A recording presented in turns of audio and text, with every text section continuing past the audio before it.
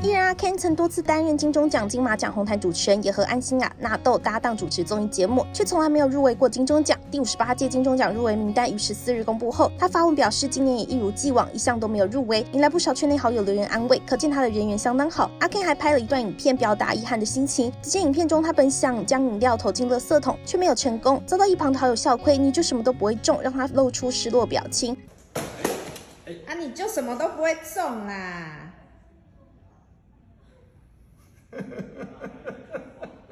好友周杰伦转发了自责影片，并暖心安慰对方，表示演了好莱坞，也拍了周游记，已经很优秀了啦。阿 Ken 也回复对方，表达了感谢，凸显双方的好交情。